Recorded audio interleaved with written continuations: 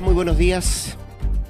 ¿Qué tal? ¿Cómo estás? Muy buenos días, Rodrigo. Aquí, pues, está- atenta a las informaciones de esta mañana con, con la formalización del caso audio. No te explico, ¿ah? bien movido, estamos con caso audio, estamos con el caso Brinks, con formalizaciones que se están llevando eh, delante. Está el presidente de la República, Gabriel Boric, allá en la Araucanía también, en, en otro tema, en otro foco de interés, así que no te digo cómo, cómo no paran las la- noticias acá. Y además ya a la espera de las precipitaciones en un ratito más, a eso de las 2, 3 de la tarde para, para la región metropolitana. Así que no te quito más tiempo, sigue tú adelante Nos con vamos tu a ir al, sí, nos vamos a ir ahora al, al norte del, del país. ¿Te parece? Sí, me Eh, parece. Nos juntamos luego. Así será. Hasta entonces. Eh, vamos a conversar de la situación eh, migratoria en, eh, en nuestro país eh, y también cuáles son los vínculos con el crimen organizado, con, con la delincuencia y cuál es la evaluación que se hace eh, por parte de nuestra invitada de hoy sobre la- las políticas que está tomando el gobierno al, al respecto. Nos acompaña la senadora de la UDI por la región de Tarapacá, Lucen Sperger. Bienvenida, senadora, ¿cómo está? Muy bien, muchas gracias por la invitación. Muy buenos días, Consuelo. Eh, un gusto tenerla acá en mano a mano en, eh, desde, la, desde la redacción. Estaba eh, buscando, pero no, no, lo, no pude encontrarlo, lamentablemente, porque se entregaron, eh, se entregan cada cierto tiempo cifras de homicidios, eh, ¿verdad? Y, y son cifras preocupantes y salieron las últimas por parte del Ministerio Público hace, hace poquititos días, donde, mm, donde se reporta un 6,3% eh, de víctimas de homicidios consumados cada 100.000 habitantes, esa es la tasa. Así que es un pequeño descenso. Estas son las cifras para el 2023, finalmente las cifras consolidadas del Ministerio Público para el 2023. Y siempre la región de Tarapacá tiene, tiene una tasa muy, muy alta, pero eh, no sé si usted tiene la, la cifra, cómo, cómo estuvo esa, esa situación en particular con el consolidado del 2023 para Tarapacá. Mira, no, la última cifra no la tengo, pero nosotros lamentablemente siempre hemos estado bordeando el 10. Hemos bajado al 9, volvemos Mm. a subir al 10, eh, Mm. muy similar a lo que tiene la región de Arica también.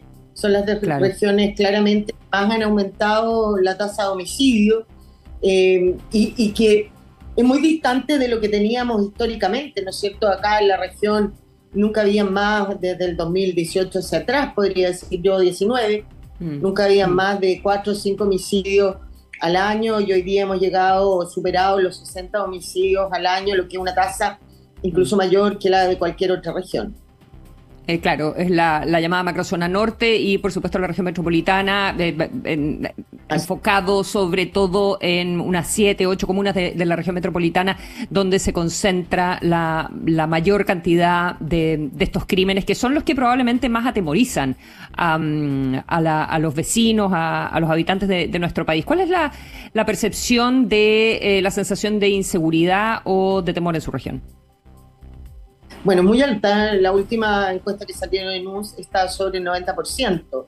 Acá eh, no, no ha cambiado en nada la situación, lamentablemente, sobre todo de inseguridad. La gente hoy día acá, sobre todo los adultos mayores, a las 6 de la tarde, se encierran porque además, eh, ¿no es cierto?, Eh, no solamente por tema de ser asaltados, sino que porque también en las calles hay muchas incivilidades eh, que los hacen eh, tener una muy mala calidad de vida. Esta ciudad era bastante tranquila en términos generales. ¿ah? Yo no, no voy a desconocer que históricamente Tarapacá, junto con Antofagasta, lideraban las encuestas de NUS en materia de inseguridad y, de percepción.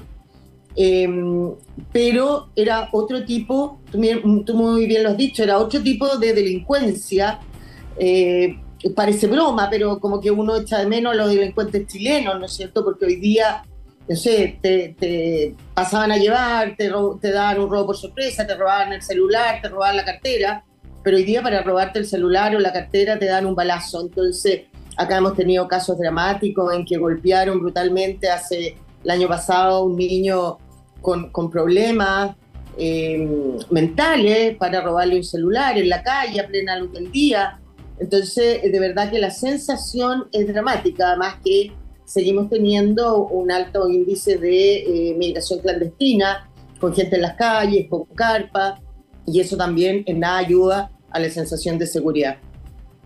¿Cuál es el, vínculo que establece usted entre em, inmigración eh, irregular, clandestina? Eh, no es un delito, así que no tendría por qué ser ilegal, eh, ¿verdad? Para, usar correctamente los términos.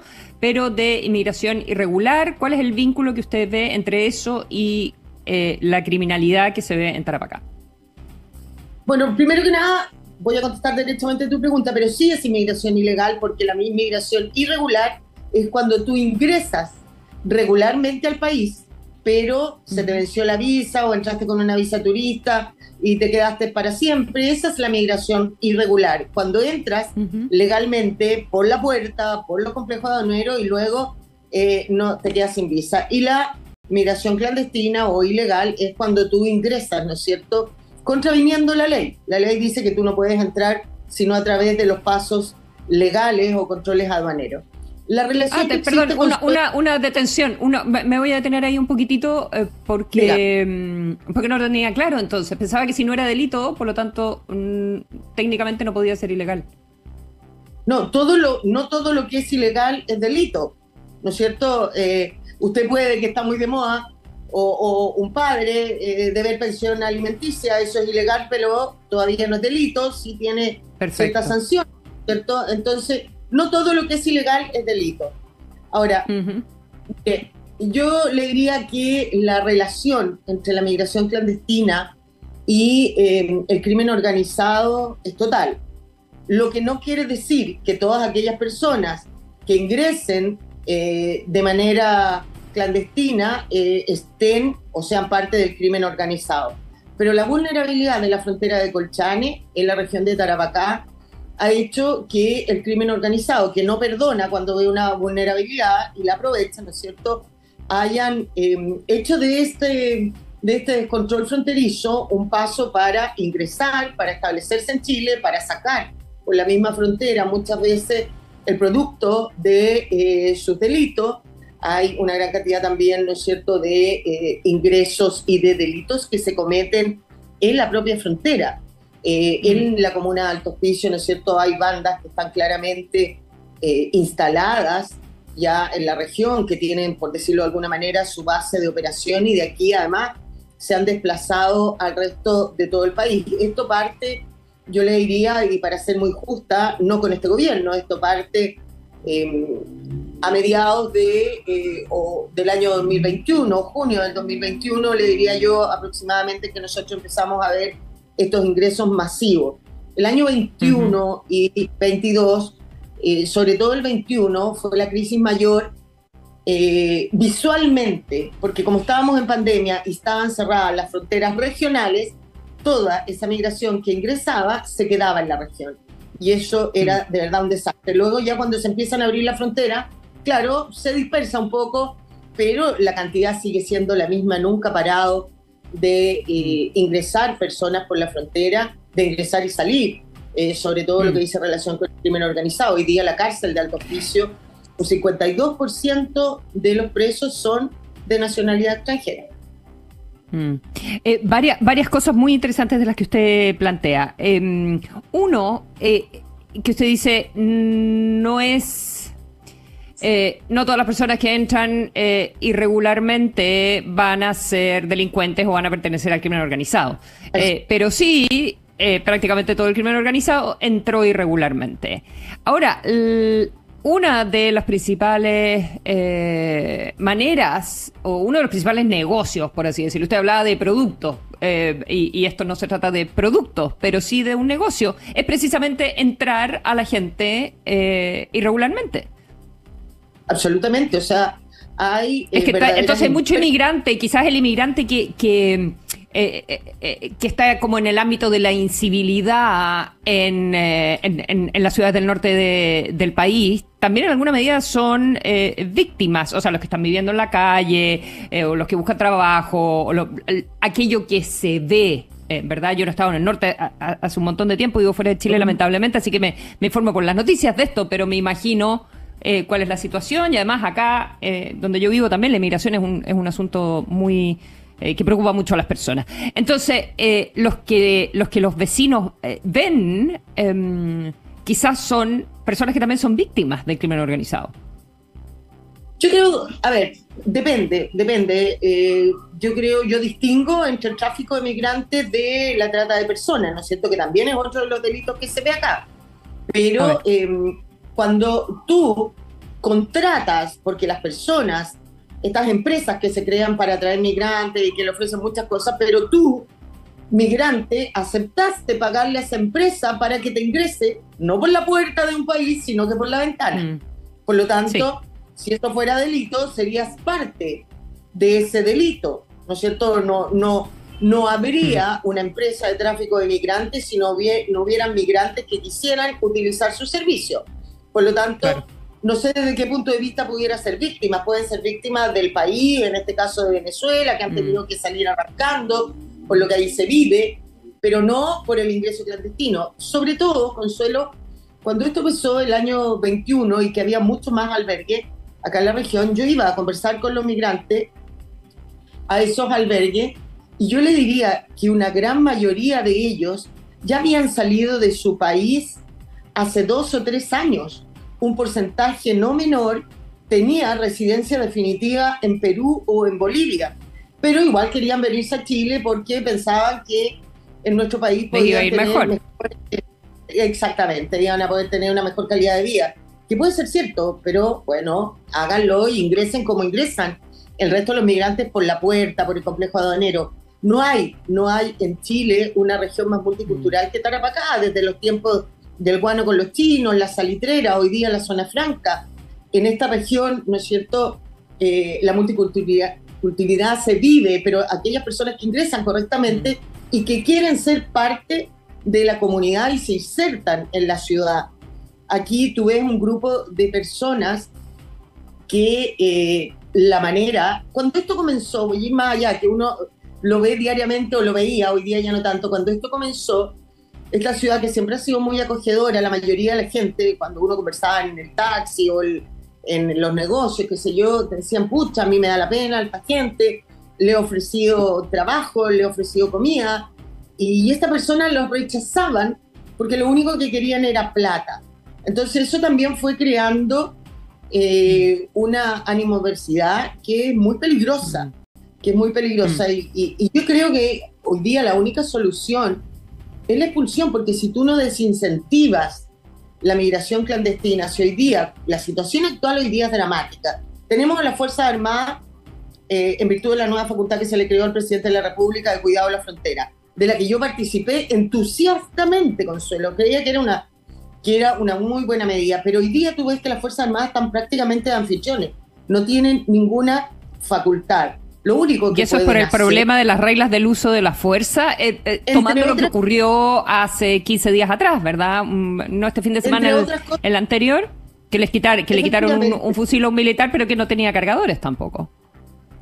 Efectivamente, es parte de eso, y es parte también porque cuando se dictó el decreto 78 que regulaba eh, la facultad constitucional mientras eh, se dicta esta ley que todavía no se dicta, ¿no es cierto? Y que está mucho más atrasada porque la que se está viendo es la parte de regla de uso de la fuerza, pero hay otra patita que es la facultad de em, el cuidado de las fronteras en regla de uso de la fuerza. Una es cuando cuidan infraestructura crítica, que es lo que hoy día está viéndose en la Comisión de Defensa, y la otra parte, que son las fronteras, todavía no parte.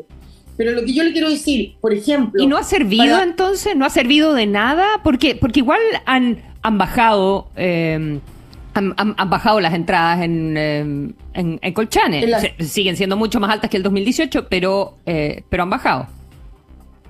Eh, pero hay una cifra negra que no se conoce. La última, hace dos miércoles atrás, cuando se renovó esta facultad, la propia ministra Toá en la sala del Senado, ¿no es cierto?, eh, expresó las cifras, pero dijo y dio a conocer que em, hay cifras distintas. Porque, mire, las cifras que está dando el gobierno son de avistamientos que hacen las Fuerzas Armadas.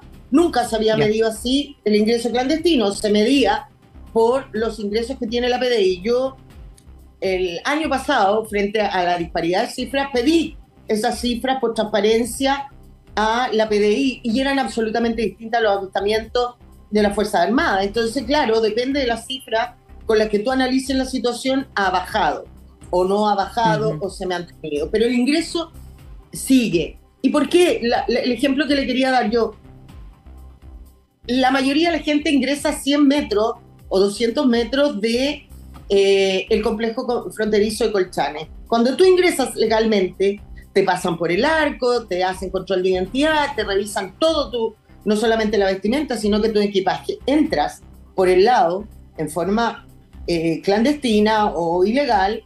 Una vez que esa persona pisa Chile, no hay nada que hacer, porque eh, la Dirección Nacional de Migraciones prohibió la reconducción y Bolivia tampoco la aceptaba. Entonces, el militar, ¿qué puede hacer? Porque yo digo que están de aficiones. Lo único que puede hacer es pedirle un documento de identidad. Y no puede revisarle las vistamientas, no puede revisarle el equipaje, donde puede venir droga, donde puede venir armamento, donde puede venir plata. ¿Por qué no puede? Porque el artículo el decreto 78 del Ministerio del Interior lo prohibió. Solo pueden revisar eso cuando haya un indicio que esa persona ha cometido o va a cometer un delito. Y los indicios definidos por el Código de Procedimiento Penal son súper difíciles de eh, probar. Sobre todo cuando una persona, eh, ¿cómo el militar va a probar? ¿Qué va a fijarse? Un tema además muy subjetivo. Venía entrando, usted bien decía, eh, el ingreso irregular o clandestino, ilegal, como quiera llamarle, no es delito. Por lo tanto, no tiene facultad ni siquiera de revisarle los equipajes. Eso es una aberración.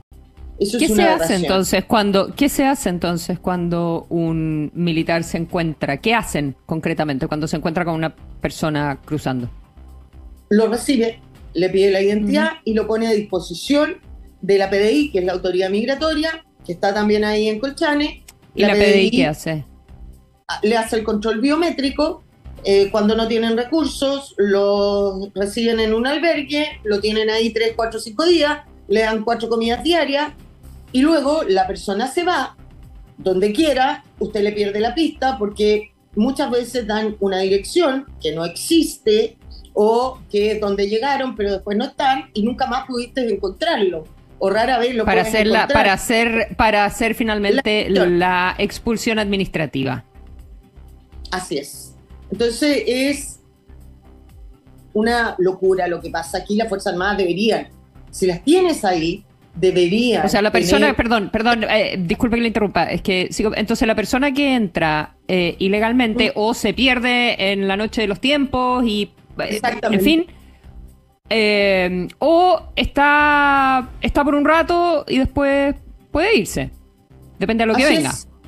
Así es, ellos se autodenuncian, mm. control biométrico y desaparecen.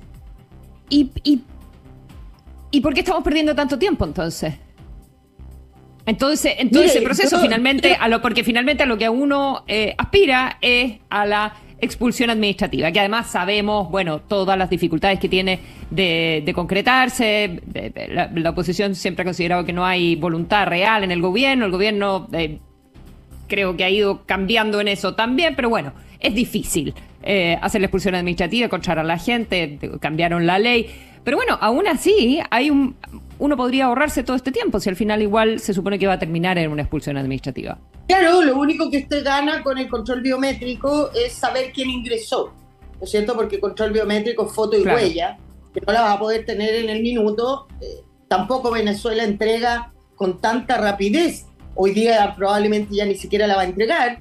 Y la mm. PDI va a poder identificar aquellos que a lo mejor hayan delinquido, que estén en bases de datos con países amigos o en la Interpol, en fin.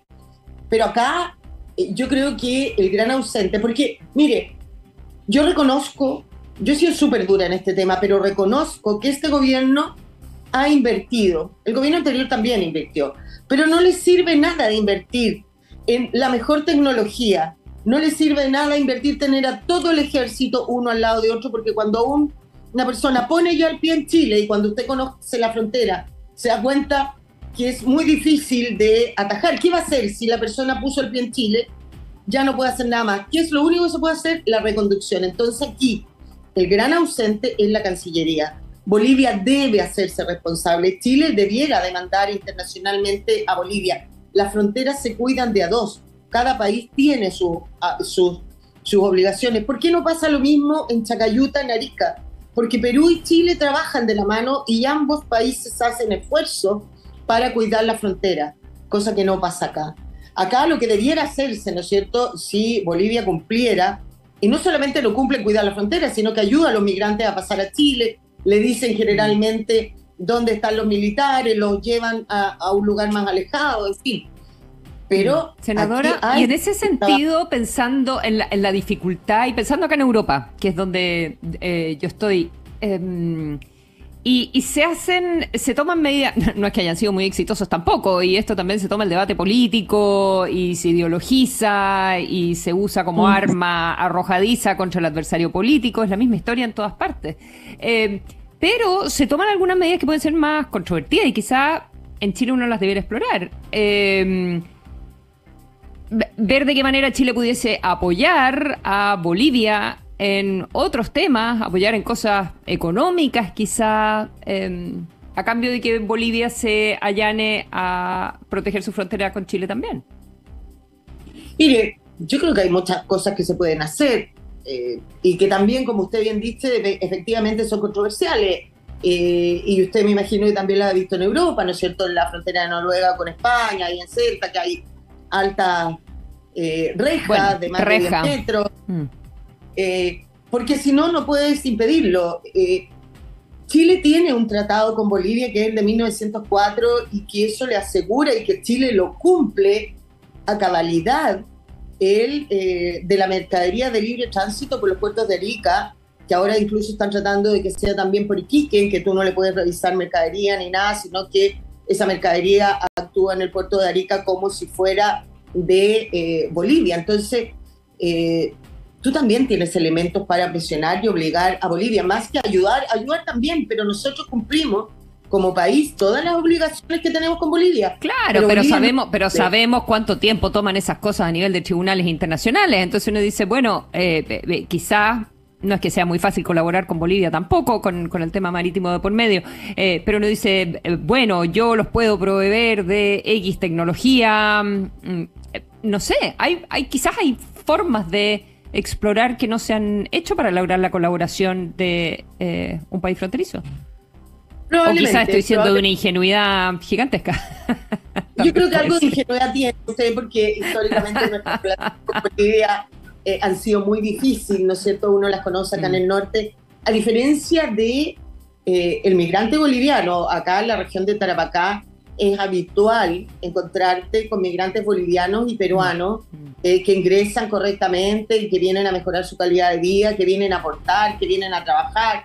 De repente eh, falta una mano de obra y eh, nunca habíamos tenido este tipo de problemas con los bolivianos o con los peruanos. Y hoy día tampoco lo tienen mucho, salvo obviamente los que sean delincuentes, que crean ingresar droga por Chile o mm. cuando vienen a tratar de comprar en Chile, ¿no es cierto? Que es un tema de los precursores para hacer producir más su droga, que ellos no tienen, y, y, eran temas habituales que estaban mm. dentro de todo controlados en la frontera. Pero em, yo creo que hay que intentar todo, porque esto no puede seguir, sobre todo, ¿no es cierto?, cuando después de lo que está pasando hoy día en Venezuela se dice que puede venir una eh, gran ola o una nueva ola migratoria. Eh, esperemos que eso no sea así, esperemos que nos pille mejor preparados, eh, porque es em, re fácil querer ser bueno o, hablar con falso buenismo. Si usted viene a la región de Tarapacá y visita el Hospicio, las tomas que hay con suelo son gigantescas. Mire, yo fui intendenta del 2010 al 2014 acá en la región y entregué la región de Tarapacá en marzo del 2014 con seis campamentos. Hoy día hay 62, cuando la lógica te dice que deberían ir bajando. La cantidad de personas que, la mayoría son migrantes, pero también hay un número importante de chilenos. Tarapacá tiene un déficit habitacional gigantesco. Tenemos todos los años problemas con el producto también de la migración en eh, vacantes para las escuelas públicas, eh, en, en, la salud. Entonces, eh, yo quisiera, y, no tengo ningún problema, en que uno ayudara a otros países, pero, pero caridad empieza por casa. Entonces, mientras haya un niño chileno que no tiene que comer, que vive en la tierra, que no tiene un colegio, que no lo atienden en salud, ¿cómo acogemos a estos migrantes. ¿Para qué? Para tenerlos en la misma condición si somos un país que todavía mm. no soluciona sus problemas sociales. Entonces, mm. bueno, yo creo que igual algo habrá que hacer, medidas concretas. Em, yo ya pienso en algo más físico en la frontera de Colchane, pienso en eh, el trabajo diplomático, eh, con lo que usted dice. Algo más físico como, como, mel, como melilla. Como una reja, mire, como una reja así, pero es que si no, no tiene. Si usted conociera, no hay otra posibilidad. Oiga, hicieron, mire, en el la, la zanja. hacer zanja. Luego, en el gobierno del presidente Piñera, la agrandaron, la hicieron más profunda y la empezaron a mantener porque también en el gobierno del presidente había militares en la frontera. Los migrantes no respetaban, se caían y ¿qué tenían que hacer los militares? Ayudar a las personas a salir y cuando las ayudaban a salir, las dejaban en Chile porque no, no iba el militar a ir a Bolivia, entonces las mm. personas empezaban a, tirarse dentro de la zanja y bueno, allí hay un tema humanitario y de, de resguardo y de respeto a la vida, ¿no es cierto? Obviamente que todos los militares tenían que sacar a las personas desde la zanja para que no les pasara nada. Entonces tampoco ha sido una solución. Mm. ¿Qué queda?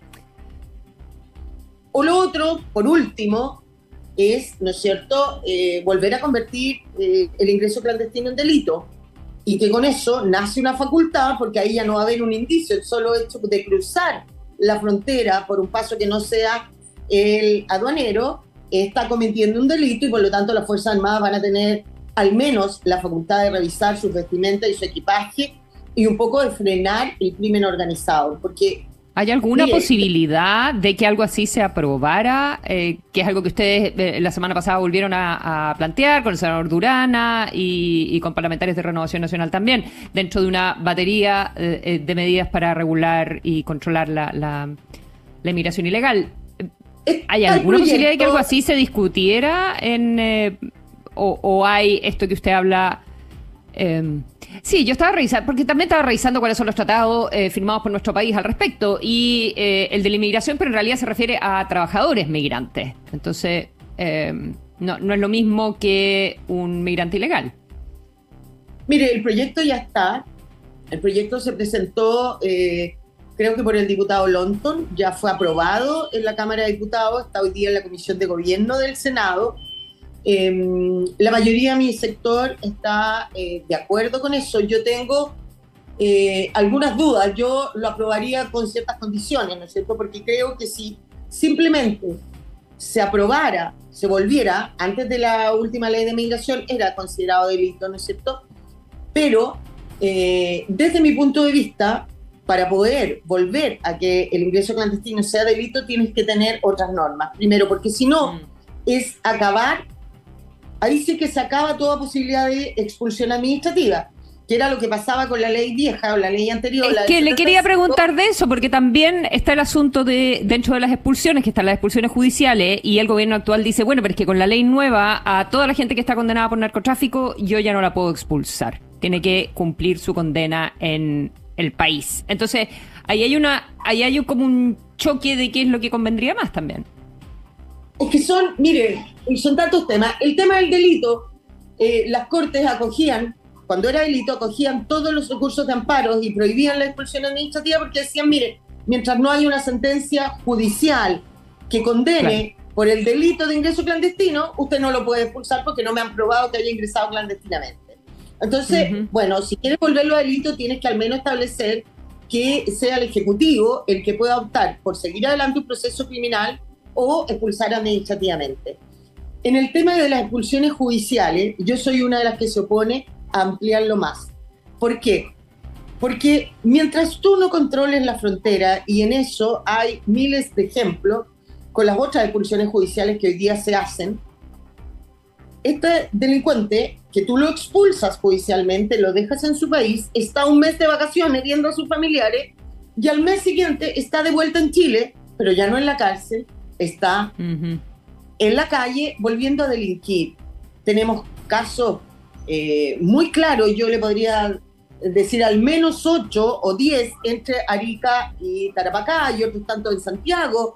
Entonces, eh, todo pasa porque tú tienes que tener controlada la frontera. En el minuto que tú tengas mm. controlada la frontera, que Chile pudiera decir, yo sé quiénes entran y acá no se puede entrar si no es a través de cumplir todos los requisitos, expulsemos judicialmente a todos los que quieran.